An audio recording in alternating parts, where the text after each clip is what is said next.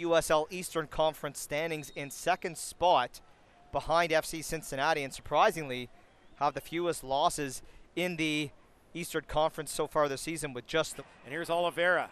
Now to Tony Taylor. Plays it wide right to Eddie Edward.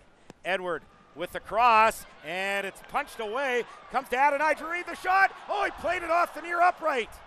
Off the post from Adonijah Reid. Ottawa does get a call to take the lead in the 17th minute. Well, great work to get the ball out to the right side, and then a great delivery in from Eddie Edward.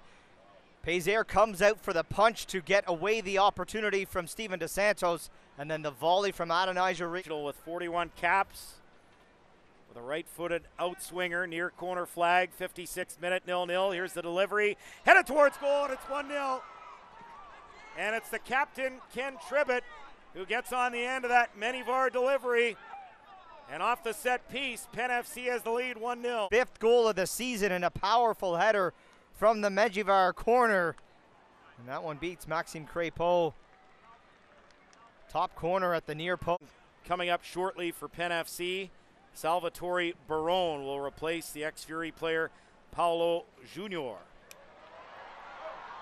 As here's an opportunity, and it's 1 1.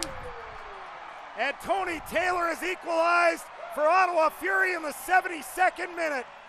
Well, that's well deserved for Tony Taylor. Gets the first poke to the ball and pokes it over top of Romuald Peiser. And credit gotta go to Maxime Crepeau for that long boot forward. And we're tied at one. And nice little flick on there from Dos Santos. And the second ball it's Tony Taylor down the right again, plays it into the middle. Oliveira now to Dos Santos goes down. Yes, Penalty. well, had to get it there. Steevan Dos Santos tripped up 10 yards from goal, and Ottawa's going to have a chance to take the lead from the spot. 81st minute penalty. Dos Santos steps up and puts it home.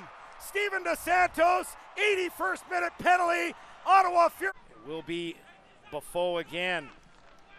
Plays this into the middle for Tribbett, just outside the 18. Now a shot, and that stopped from distance. Menjivar gave it a go, and it's parried over for a corner. Nice save.